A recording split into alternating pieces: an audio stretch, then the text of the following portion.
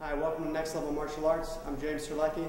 I'm here with my friend and student, Jesse Bell. Today we're going to be demonstrating the basic Kimura from the guard. Okay, so I have Jesse in my closed guard, and he's sitting his way back, hands are posted on the ground. Okay, this is a very basic setup. There's a lot of setups that we could do to catch a Kimura. Uh, today we're not going to do that. We're just going to show the basic details uh, of the first one here. So anytime the guy's hands are planted on the floor is when I have the opportunity to do a Kimura. So first thing I'm going to do is grab his wrist with my close arm. Okay? So I'm going to grab just like this, open my open my legs. Okay? From here I'm going to sit across on my elbow. I don't want to sit straight up this way. It's too hard. Okay?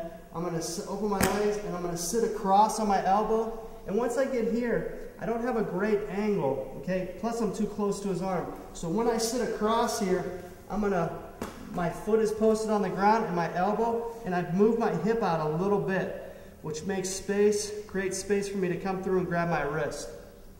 Okay? And I just have a monkey grip on his wrist just like this, grab my own wrist, and I wanna keep like a 90 degree bend in his arm here. Okay? I don't want him to straighten out his arm. Okay? From here, I'm gonna pull back, okay, go towards the mat. And as I do, I want to glue his elbow to my chest. Okay? I want to stay tight here. From here, this foot will hook on his back. And now I'm going to move my hips out. Just keep shimmying off his back a little bit till I'm on my side. Okay? If I'm flat on my back, let's go back here. If I'm flat on my back trying to finish this, I don't have a great leverage point here. He could resist especially if he's a big, strong guy, I'm not going to get this. My greatest leverage point is when I move my hips out and get completely on my side, just like this. Now I keep this elbow glued to my chest, and it's my whole body, okay? My whole body taking the arm to the floor, okay? Um, very important as well, once I get here, move my hips out, if I keep this leg here, not over his back. He's just going to roll out. Right. Good. Let's go back.